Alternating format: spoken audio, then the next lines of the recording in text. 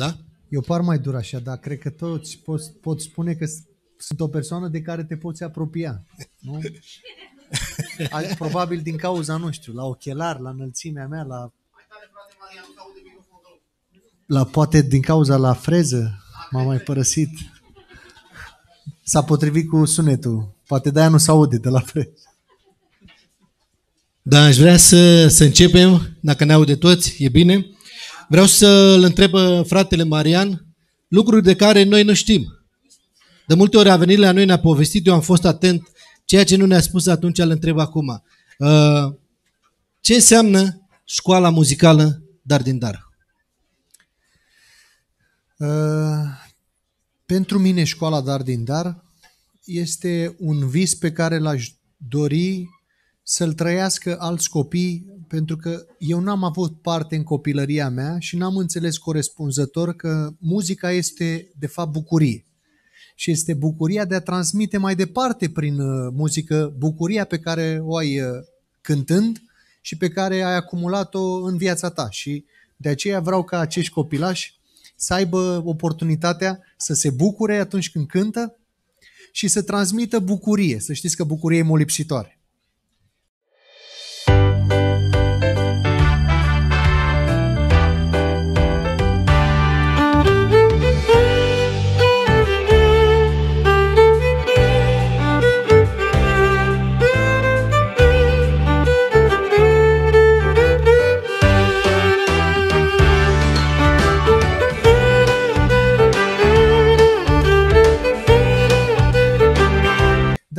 Da, la copii. Uh, conceptul dar din dar a început uh, prima oară cu ceva mai simplu. Eu n-am știut de la început ce o să se întâmple cu acest uh, cuvânt, acest nume, dar din dar. Prima oară am avut un vis. După ce Dumnezeu mi-a transformat viața, am avut un vis cum era o mulțime de oameni strânși la un concert și am auzit exact așa. În timp ce uh, eram în timpul nopții dormind, în vis am auzit dar din dar. La vremea aceea, uh, nu toți erau deschiși pentru a mă primi să cânt, pentru că după 12 ani de droguri, nu este uh, ceva uimitor când cineva te respinge și nu crede de la început în schimbarea din viața ta.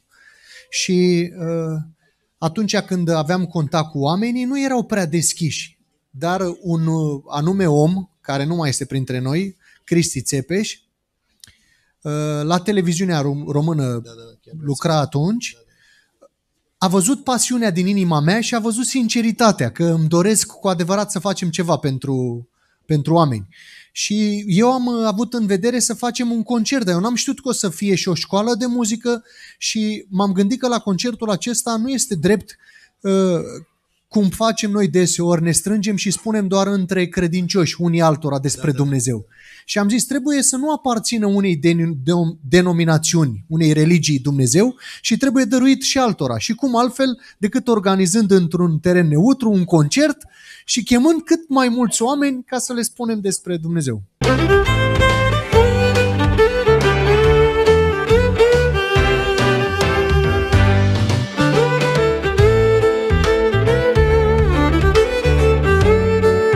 Practic, ce vedem noi astăzi, copiii și locațiile în care sunt, nu a fost planul inițial și Dumnezeu, pe parcurs, a, a deschis da, uși. Da, da. Am o altă întrebare, timpul trece. Câți copii sunt implicați? Dacă știți, dacă știi total în toată țara, în ce regiune și cam câți copii sunt implicați în școala Dar din Dar? În momentul acesta au ajuns undeva pe la 180, dar nu mai pot să număr uh, exact pentru că ei se multiplică și fără să știu eu și fără să am eu control asupra lucrului acesta, pentru că unii dintre ei, de când s-a început, au ajuns profesori așa cum intenționăm și pentru unii din locul acesta să ajungă la rândul lor să preia alți copii și din cauza aceasta nu mai poți spune concret câți copii sunt, dar ce știu eu, în momentul acesta sunt undeva la 180 de copii.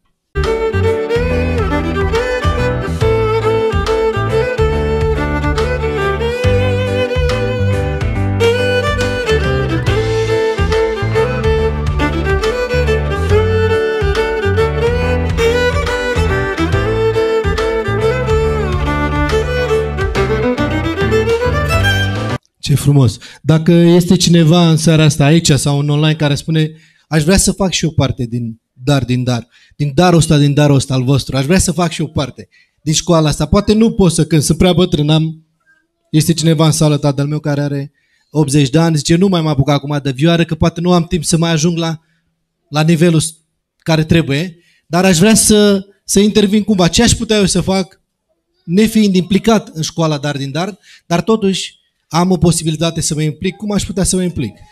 Păi, în primul rând, eu am spus că atunci când eram copil, ă, n-am avut parte de anumite lucruri și conceptul acesta a luat ființă pentru ca ai noștri copilași, generația următoare, să aibă parte. Pentru că deseori s-a înțeles greșit. Școala nu trebuie să fie ceva care să-ți aducă apăsare sau un juc. Venitul la biserică nu trebuie să fie ca o obligație care să vină ceva greu, ci trebuie să fie ca o bucurie. Ei bine, exact același lucru este și pentru cei care n-au avut parte de multe lucruri, dar vor să se bucure făcând ceva pentru acești copilași.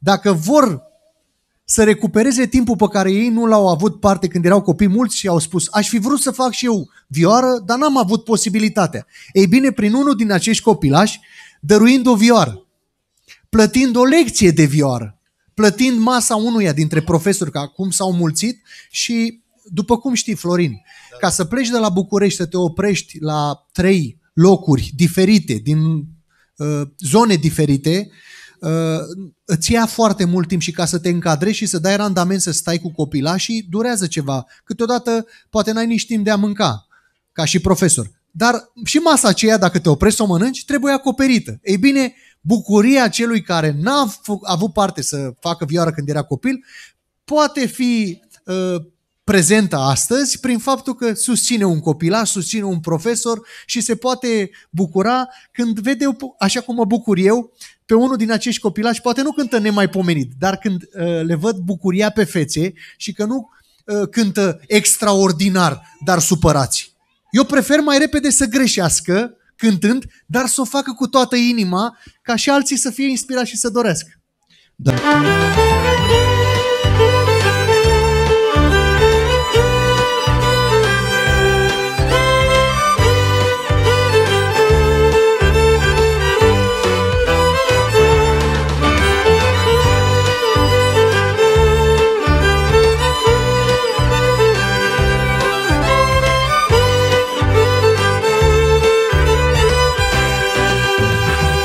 Mi se pare un uh, concept frumos. Să faci ceva că îți place, nu să faci ceva că îi place lui taică tău sau lui mama ta sau la bunici.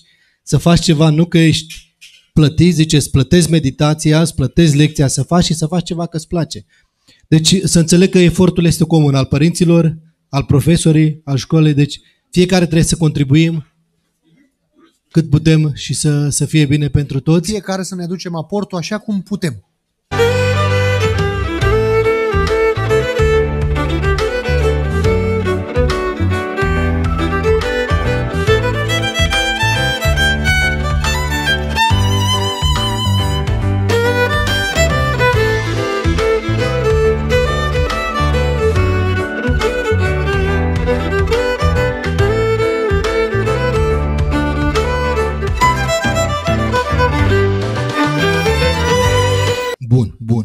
Deci, într-un mod practic, puteți să ajutați uh, sprijinind această lucrare. Vedem că această lucrare crește, așa cum a spus. Ce să zic? Acum trei ani m-am întâlnit cu fratele Marian într-o conferință și era la început lucrarea, dar din dar cu școala. Și nu m-am gândit inițial că o să avem posibilitatea să avem atât de mulți copii. Avem aici în loc peste 20 de copii. Poate vi se pare puțin, asta înseamnă 20 de vioare, asta înseamnă Uh, în jur de în fiecare săptămână o lecție de vioară, asta înseamnă mașină care pleacă din București sau din Brașov, de unde vine profesorul, și poate spui, dar cum o să scoți cumva investiția asta? Să știți că investiția uh, în educație se recuperează în termen lung. Și pentru cei care vor să ajute, noi am spus la comunitatea noastră de aici din Păulească, am spus că seara aceasta este o seară în care dăm, nu o seară în care primim. Să știți că toți anii în care am contribuit la acest proiect, văzând seara aceasta, văzând videoclipul acesta, care și el a fost făcut cu efort. Pentru mine, uh, tot efortul care a fost financiar sau material nu mai contează. Și mă uit înainte să găsim și oameni și fiecare dintre voi sunteți bineveniți să ajutați această lucrare.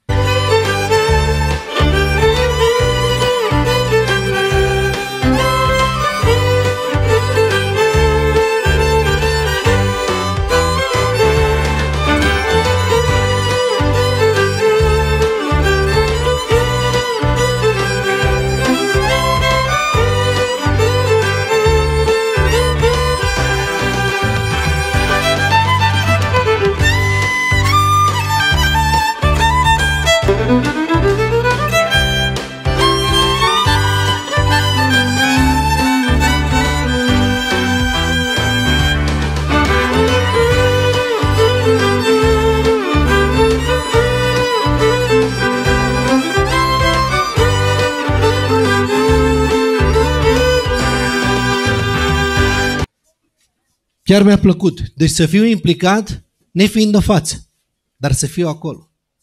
Frumos. Există oameni care uh, au fost uh, atinși de bucuria aceasta pe care o dăruiesc copiii când cântă. Nu știu dacă vă aduceți aminte atunci când s-a cântat cântarea aceea și erau toți copiii strânși, rege al regilor. Oameni care au văzut au spus, mi-a plăcut extraordinar pentru că Uh, sunt copii care nu, nu m-am gândit vreodată că aș putea să-i văd cântând și acum au reușit. Și aș vrea și eu să fac cadou o vioară. Da, da, da. Și au venit și mi-au dăruit uh, o vioară. Și, cum uh, bine știi, noi le dăm la mai departe și alți copii au avut parte. Deci